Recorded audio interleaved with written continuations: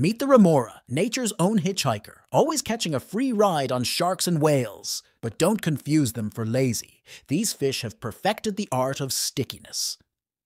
Thanks to their unique suction cups on their heads, they can attach to their hosts like living, breathing Velcro patches. This isn't just a one sided relationship, though. Remoras are like the ocean's personal cleaning crew, removing parasites and dead skin from their big buddies. It's like getting a spa treatment while swimming around if you think about it. But life as a remora isn't just about clinging on. These savvy swimmers have to eat, and they dine on the leftovers of their hosts' meals. Talk about a convenient dinner reservation. Their name, remora, means delay in Latin because sailors once believed they could slow down ships.